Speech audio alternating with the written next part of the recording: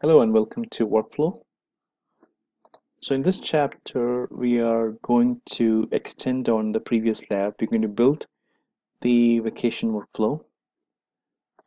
Um, so our objective is to start building the vacation workflow that we have planned in the first chapter. To make sure the workflow builder is installed. Um, uh, you know, of course, there's a zip file available for you to download, so you can have the lab so this is the vacation uh, request that we have built. So we want to so our goal is to convert this into into a into a meaningful uh, you know in, basically how do we convert this to a workflow? So we will start with the workflow builder. We're going to do what we're going to do is uh, um, so let me go ahead and start the workflow builder. So I have opened the workflow builder. I'm going to go to quick start quick wizard so here I'm going to enter the internal name the display name the internal process the display process. So I have all these documented in this uh, this uh, document. So I'm going to put the workflow vacation yeah.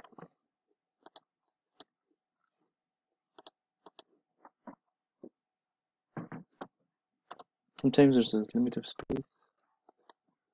So uh, xxorwf okay there's a limit on how many characters that you have. So I'm going to rename it to um,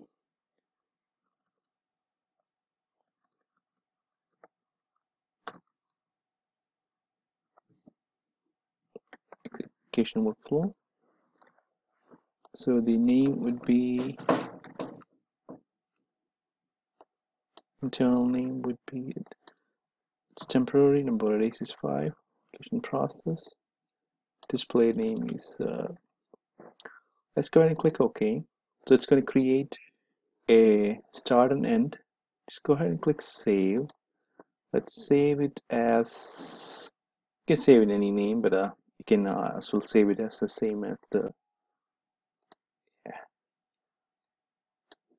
so our next goal is to add the notification. So let's go ahead and right click right actually let's go ahead and right click on the on the vacation approval process. Click on properties. So let's go ahead and select the uh, result type as approval. Let's go ahead and click right click on notification. So let's go ahead and add the internal name the uh, display name and the description so let's go ahead and um, add the details. Internal name display name. So let's go ahead and select it as notify. There's no function but the result type is approval. Go ahead and click that. Let's go right click again new notification. Let's go and add the rejection.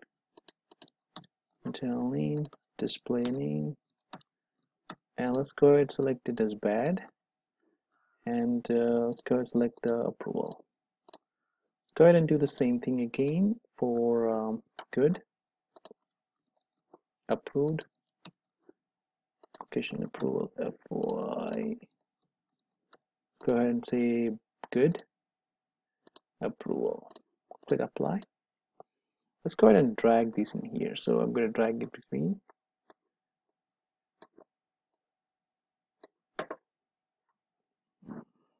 let's go ahead and uh, approved and uh, rejected let's go ahead and add one more end.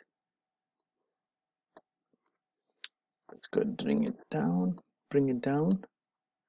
Let's right click this is very important. Right click I'm sorry right click and drag. So now it's vacation proposal. So let's go right click and drag and uh, select approve here. So right click and drag select approve here. Right click and drag select approve here. Right click and drag select actually reject here. So let's go ahead and change it results and reject. Let's go ahead and double click go to node change it to end and the approve apply. Same thing here. Node end. So make sure you select reject. Apply let's go ahead and you know we can beautify this. So let's go ahead and do whatever we can do to beautify it. So let's go ahead and do that. Again right click and click straighten. That didn't work. So we have so pretty much we built the basic workflow. Let's go ahead and save. You may see these errors but these errors are okay to have at this point go ahead and save. So in the next chapter we would we would resolve those errors. If you look at the errors um, if you look at the errors it's primarily saying that the message is in, message is missing. Um, we will add those uh, you know those attributes later on and uh, we will expand on it. Um, so that so this concludes this chapter. In the next chapter we would keep on adding to this uh, this lab I'll look forward to seeing you. Thank you